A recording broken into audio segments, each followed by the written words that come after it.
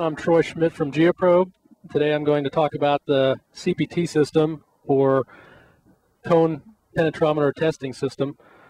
Uh, this system is the uh, is very unique. It's the only cordless system that is uh, industry-wide that provides real-time data as you're pushing.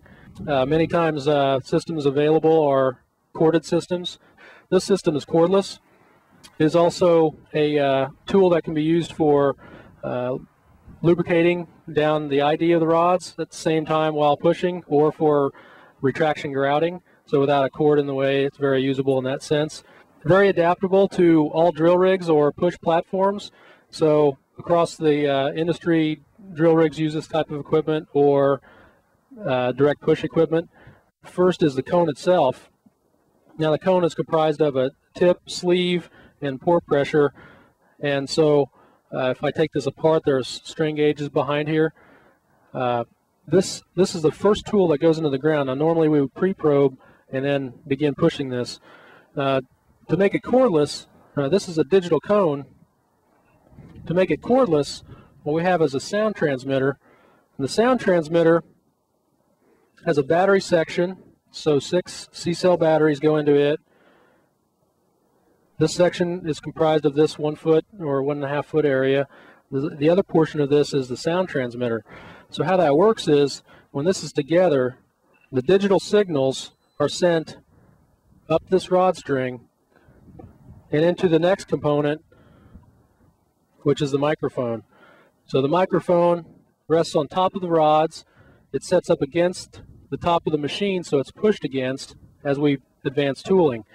So the microphone receives that sound signal and brings it to the surface via cable to our computer interface.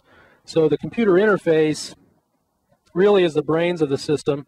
It is listening for that microphone sound, changes that from from a uh, acoustic sound wave into digital form again, goes from here and is reported to the laptop computer. The purpose of cone penetration testing or CPT equipment is to identify soil type in situ or real time and, and can be used for environmental or geotechnical purposes. Uh, what we've got uh, set up now today is uh, a bridge with the anchors in place or I could add extensions to the bridge or extensions to the anchors to get more anchoring capacity. My string pot's mounted to a bracket on the geoprobe here. I've got my cord going to my interface, and then the string that comes out of the string pot attaches to the bottom of the foot. So we have to have a reference point of, of being the, the ground surface. As the machine raises and lowers, the string will retract and extend. So the microphone is just going to push up against the hex drive. Uh, and it's just hanging here by a uh, light pin and, uh, and really is loosely mounted.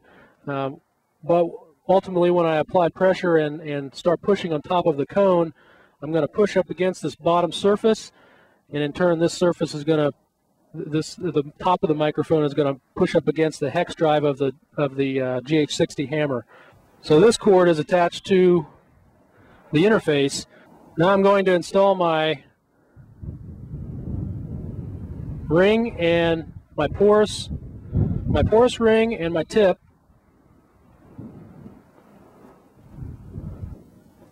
The next step is to connect the system.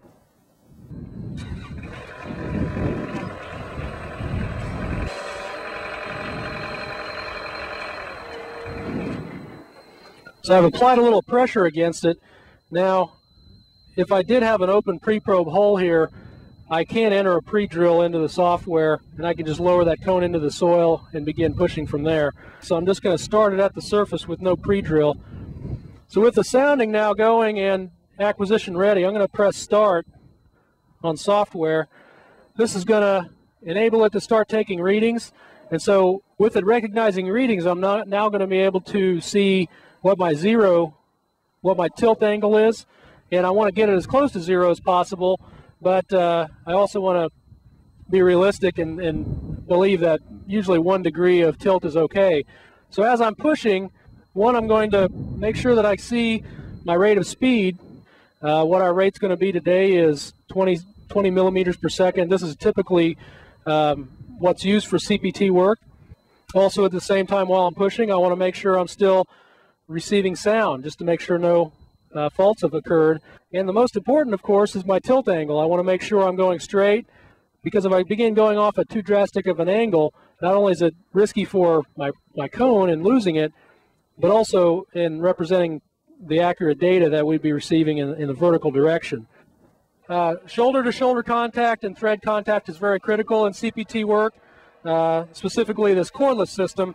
Sound is transmitted through the steel of the rods, not through the ID or through the open air. So it's, it's cordless, but the acoustic sound is traveling through the steel. This is a typical output of our cone penetration testing log, the log we just pushed. And uh, looking at the graphs, the first column is point resistance, sleeve friction, pore pressure, and then I've run an N60 evaluation for blow count on the fourth, col fourth column. Uh, I've also run an analysis of uh, soil classification so I can identify soil type here by the empirical formula inside this program.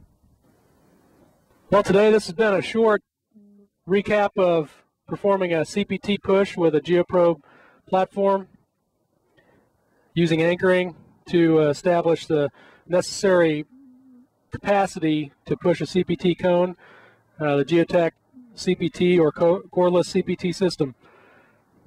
Thanks for joining us today.